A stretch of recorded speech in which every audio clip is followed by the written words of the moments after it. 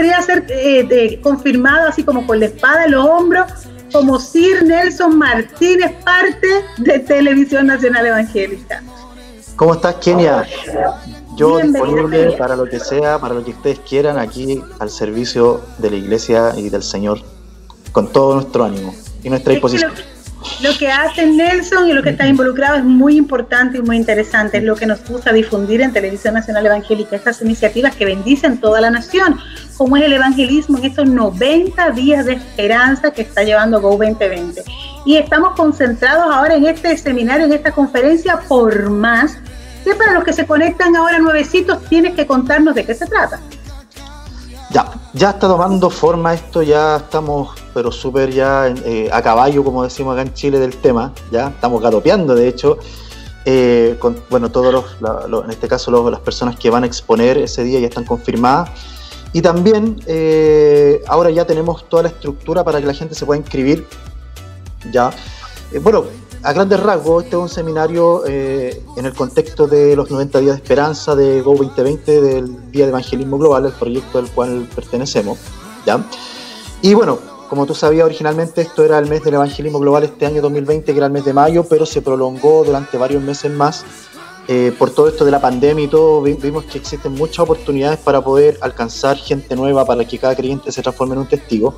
Pero también estamos entregando herramientas y estamos entregando eh, distintas visiones que tiene el evangelismo hoy en día para que la gente pueda eh, tomar, y pastores y líderes puedan tomar eso y puedan también implementarlo dentro de su iglesia, dentro de lo que ellos también eh, hacen comúnmente. la idea es ser facilitadores y también poder ayudarles también en diferentes áreas. Por ejemplo, tenemos gente que va a hablar acerca de las misiones urbanas, de cómo trabajar en las poblaciones, con proyectos sociales y obviamente con proyectos de transformación social. Tenemos también eh, personas que van a hablar acerca de las comunicaciones, ¿ya? Uno de los expositores eh, vas a ser tú, Kenia, y gracias también por, por, estar con nosotros, eh, y hablar del contexto de las comunicaciones y del contenido que hoy día la iglesia también tenemos que empezar a tener para poder alcanzar gente nueva a través de las redes sociales, hay gente que también está, hay, otros expositores que van a hablar acerca de, del ministerio del evangelista o el ministerio evangelístico en estos tiempos, cómo hoy día eso, eso está tomando nuevo aire cuál es hoy día la función que tiene hoy día en este tiempo. Entonces, todas esas cosas, vamos a ver también gente que hablar de multiplicación de...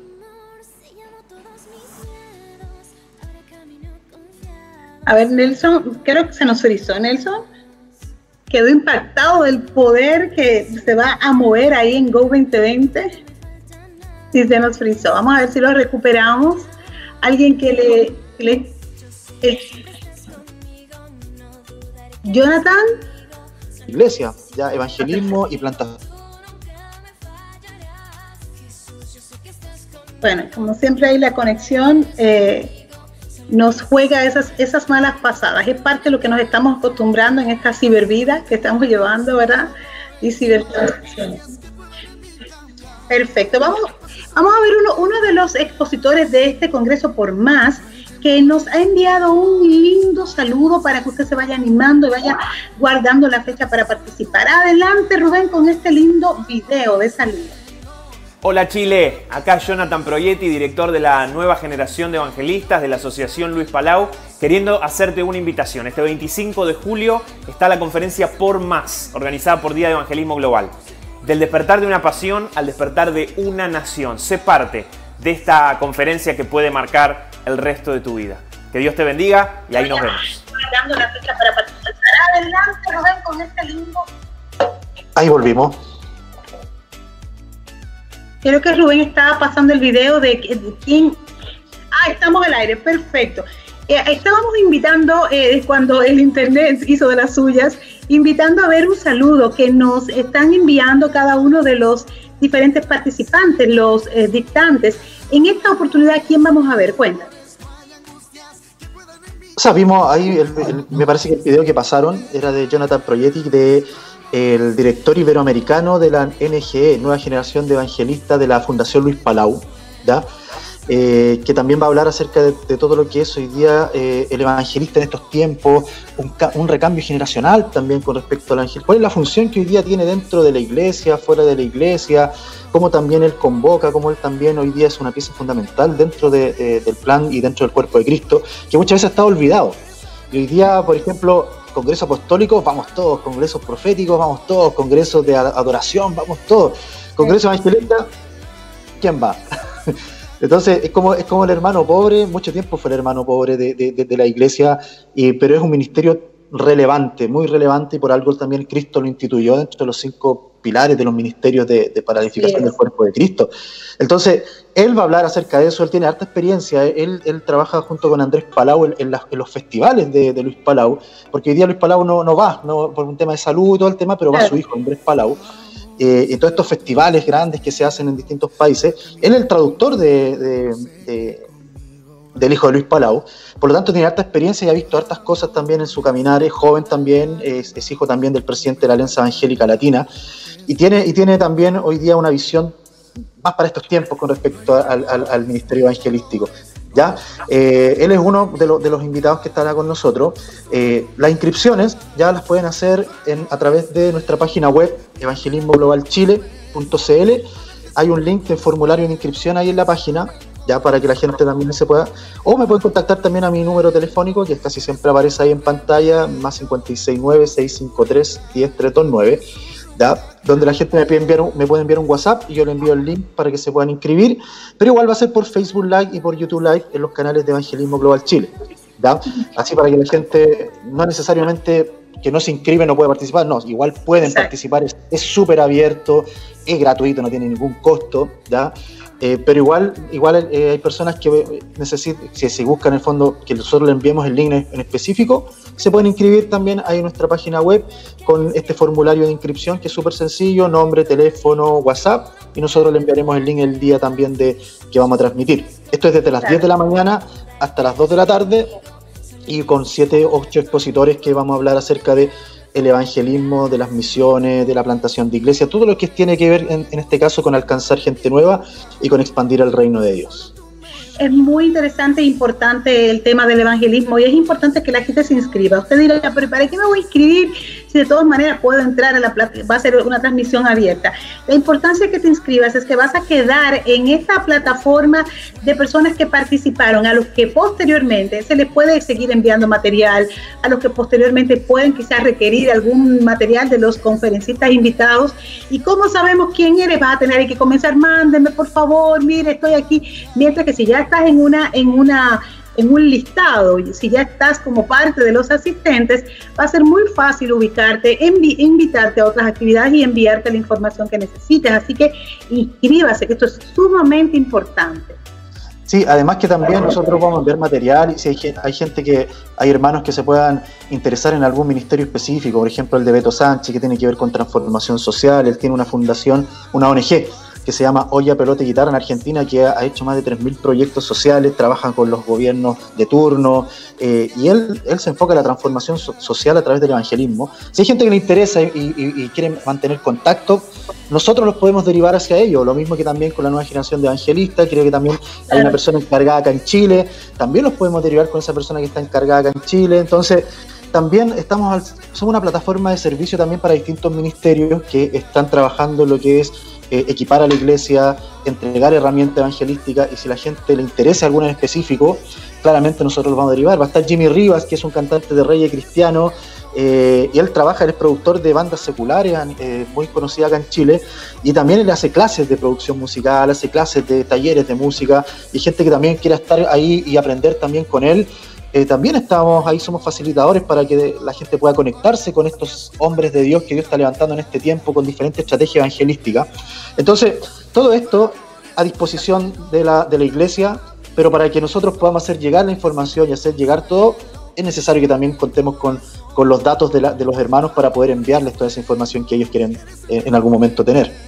Así es, totalmente. Bueno, espero que usted lo haya entendido bien, la razón por la cual es bueno que se inscriba. Ahora, quiero retomar el tema del evangelista, porque yo, yo fui, soy parte de una generación que vio morir a los evangelistas, o sea, nacimos con bajo el alero y la predicación de grandes evangelistas y poco a poco los vimos ir desapareciendo del entorno de, esta, eh, de este entorno cristiano, del trabajo, del, trabajo dentro de las iglesias, y lo vimos irse transformando como en pastores, o sea, yo fui testigo y, y la gente quizás de mi edad o de mi tiempo en el Evangelio vio el surgimiento de los apóstoles, el surgimiento del ministerio profético, el surgimiento de los pastores de adoración, y mientras todo esto crecía, como dices tú, el evangelista iba como desapareciendo, como que nunca más se habló y nunca más nadie quiso ser evangelista porque no había una garantía tampoco, me imagino yo, una de las razones económicas, la iglesia no sustentaba ni apoyaba a los evangelistas, como que tenían que,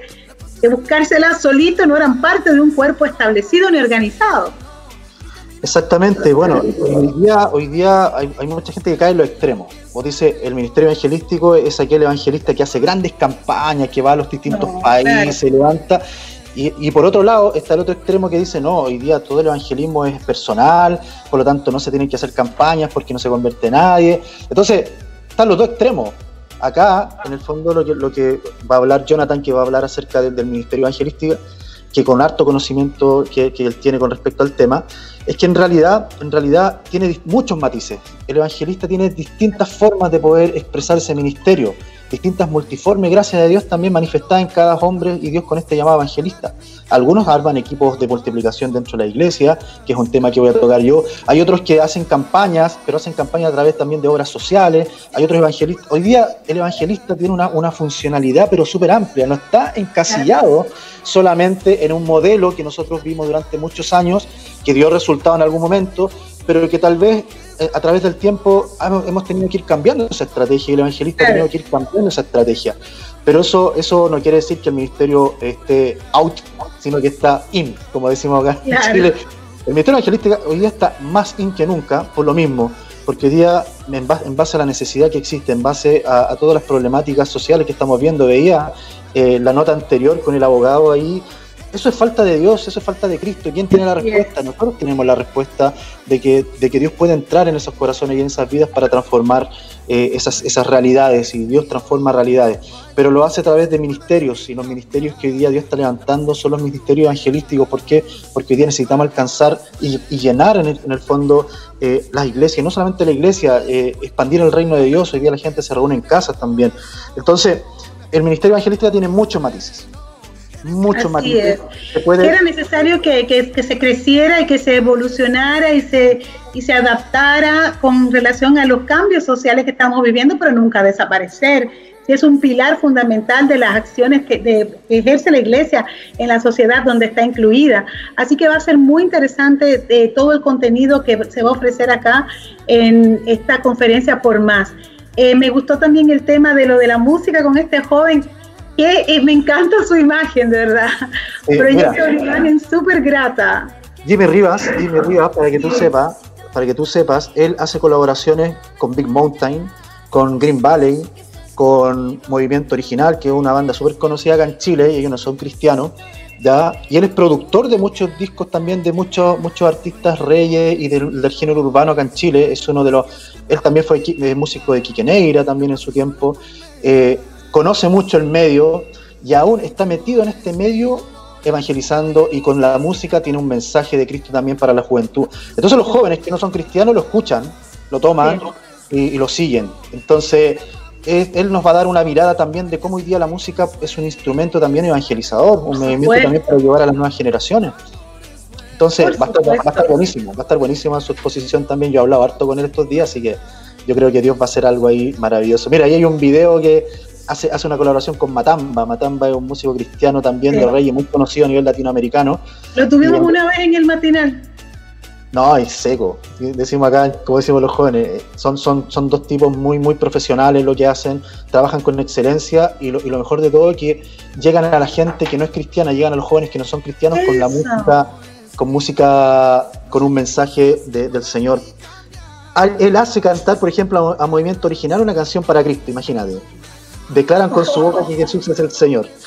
Entonces, qué tremendo. la sociedad. Entonces también tenemos que como iglesia empezar a expandir nuestra mente y empezar a ver también de que el mundo hoy día necesita eh, poder también bajo su, su, su lenguaje, poder escuchar el Evangelio, poder escuchar también la palabra del Señor y que mejor con estos músicos cristianos de excelencia que tenemos a nivel latinoamericano. Bueno, es que lamentablemente yo creo que se ha perdido mucho el foco en la iglesia, se ha puesto mucho el foco en la gente que está dentro de la iglesia, en los hermanos que ya se congregan. Se hace todo para como que acomodar y que se sientan tan gratos dentro de la iglesia que no se vayan a otra. Ni siquiera que no se vayan al mundo, que no se vayan a otra iglesia.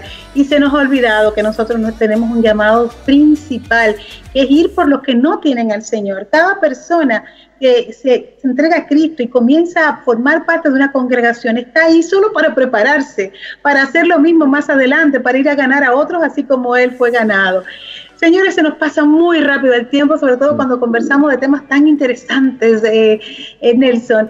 Tenemos que concluir por hoy, pero esperamos tenerte en próximas oportunidades para que nos sigas hablando de este congreso por más. Ya sabes, inscríbase en www.evangelismoglobalchile.cl. Ahí estaban los teléfonos también de Nelson Martínez, coordinador de Go 2020 y esperamos contar con su presencia y su participación en, esta, en estas conferencias por más. Perfecto, gracias Kenia. Bueno, recuerde, 25 de julio, desde las 10 de la mañana, por nuestros canales de Facebook Live y también de nuestro canal de YouTube. La gente se puede conectar directamente también, ¿ya? Así que no hay problema. Y mostraremos a los otros expositores, las si me invitan, obviamente, de nuevo acá, humildemente a TNE. Vamos a ir presentando cada uno de los expositores en, la medida que vaya pasando el mes. ¿ya? Muchísimas gracias, Nelson. Hasta la próxima. Hasta la próxima, nos vemos, que esté muy bien. Chao, chao. Bye, bye.